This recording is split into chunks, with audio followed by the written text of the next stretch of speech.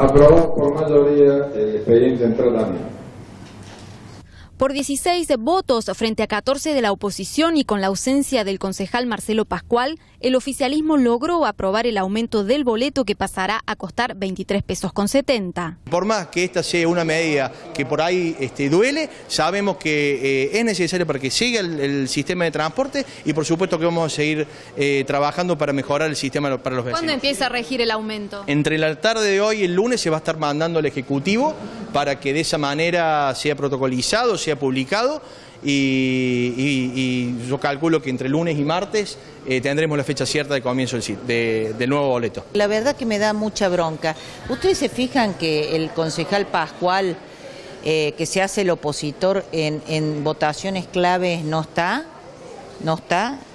Eh, y por lo menos hay que, yo por lo menos lo que veo acá en el Consejo Deliberante es que el concejal Pascual tiene más personas nombradas que las que tengo yo, a pesar de que somos un bloque unipersonal. La otra vez me vi la lista de empleados nombrados porque siempre controlo y quiero hacer concursos en el Consejo Deliberante, porque en general no ha habido concursos acá y esa es una deuda que tiene el ABAQUE. ¿Hay corrupción?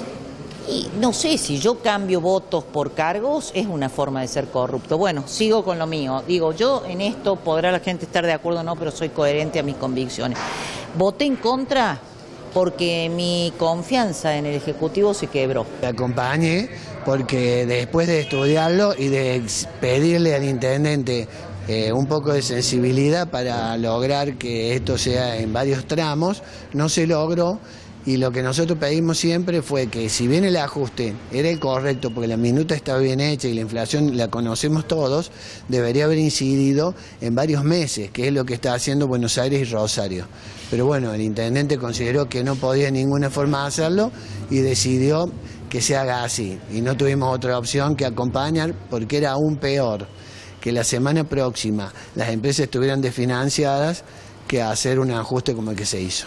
El servicio no es el servicio por el que el vecino tiene que pagar lo que está pagando, es decir, hoy en el boleto, sin el aumento que, va, que van a tener, se está pagando por un incumplimiento. La empresa hoy tiene una rentabilidad que debería tenerle el beneficio del vecino y no la empresa. Y esto no es ir en contra de las empresas, es sincerar un sistema que realmente ha fracasado y que no cumple con las condiciones del servicio por la tarifa que están procurando cobrar. Entonces, simplemente hablar solo de aumentos de tarifa nos parece que realmente es una estafa al vecino. Lo peor es que nos enteramos que un kilómetro de taxis hacer un kilómetro en Remi es mucho más barato que el kilómetro que pasan los empresarios del colectivo.